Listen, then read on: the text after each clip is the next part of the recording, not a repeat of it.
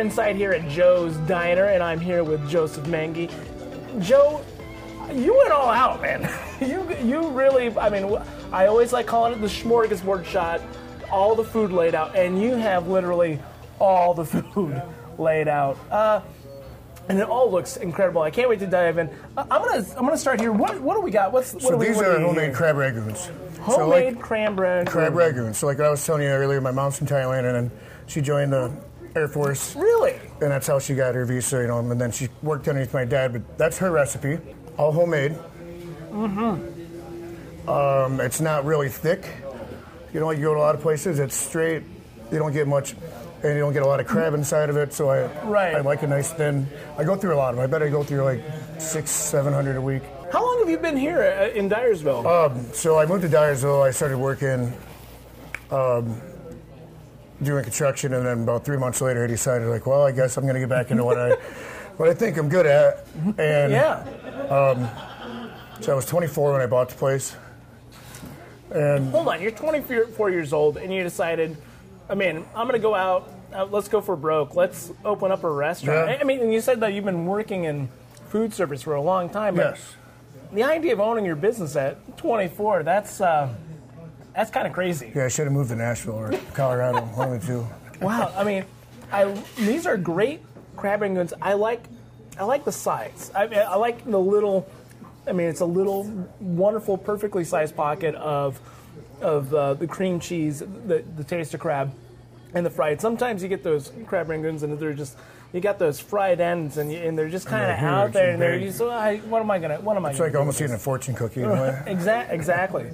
But that's that's really good. And then so now you got room for your pasta or your steak. I would like I would literally eat four more of these, but with all this food in front of me, I know I can't. So let's let's go ahead and let's jump into All here. right, so this is my tonight special, my Thursday night special. your Thursday night special. This is a deep fried taco. a deep fried. Taco. So I make the taco. taco meat from scratch. Okay. and then I put meat and cheese in it.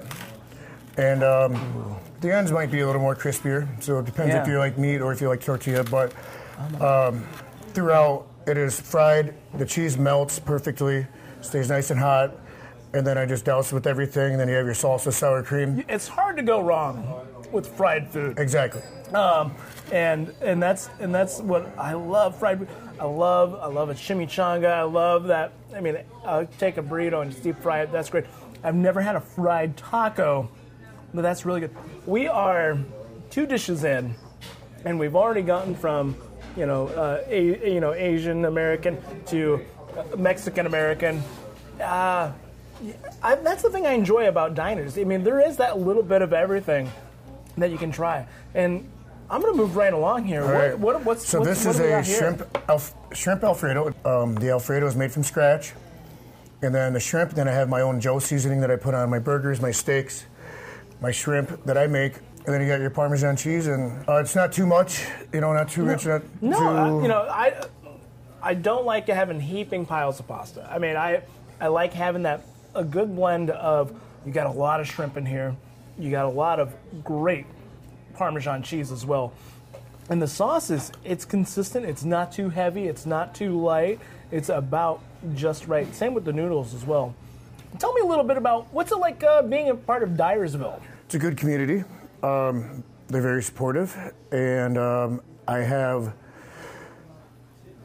a lot of uh, the locals that really, really support me, and they want to support me. You know, anywhere from, hey, you didn't charge me for that last drink, or like, hey, we're gonna come down because you got open mic night, and we really want to support local businesses. It's a really stellar pasta dish with the Joe seasoning. I can't wait to dive into. Let's go ahead and get, jump over here to All the right. steak, just because I want to see how the Joe seasoning's doing over there. Okay. Um, so all my steaks come from a local. They come from two different stores, depending on how much time I have to run to Epworth. But Yeah. it's um, Silker's uh, grocery store. I don't know if you've Yeah. ever been there, um, but Yeah. they, they do a lot of stuff for like the fairgrounds in Dubuque and uh, some Mm-hmm. bars in Dubuque and make a lot of burgers for them. And but their meat is immaculate, and so I hand cut all my steaks this is really big, and like you said, and I charbroil it. char um, broiled. so you get your X marks in it, so you get it cooked, you know, at all your temperatures, Mm-hmm. and it's just perfect. Um, that sat for a while, so I know you wanted it rare. And, no, and then I put butter and my Joe seasoning on it, and it just kind of melts. And That is a fabulous, fabulous cut of meat. All right, Okay. we got a lot of food yet to get through. I, I mean, don't get me wrong. I like vegetables. Those are just uh, steamed vegetables. You They're can get great. those I, am anywhere. Sure, I'm sure. I I'm just, sure they're um, fabulous. Uh, I had my grill full for like I wanted to do my hash browns, but I had it full of tenderloins and stuff, and so I just I was like, oh, vegetables are already steamed. Sure, they're already there. Because I, cannot turn this down. This is. This is the Joe an- Burger. This is the Joe Burger. This Yep. is listen. When it has your name on it, you know it's you. You put a lot of pride into it, didn't you?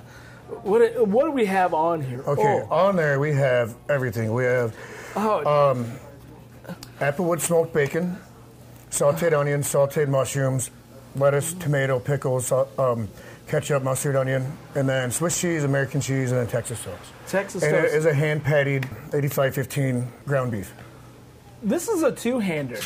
Yeah, This is. That's something you should have dug in first. Yeah, probably. no, no. This I'm gonna see how. I cannot. Um, I um, usually stick a knife in the Knife top in of there? it, in the top of it, and then most people cut it, you know, to diagonal. But I am not. I'm not a refined man. I will just cram all of this in my mouth. I got more napkins. Good. Let's see what we can do here.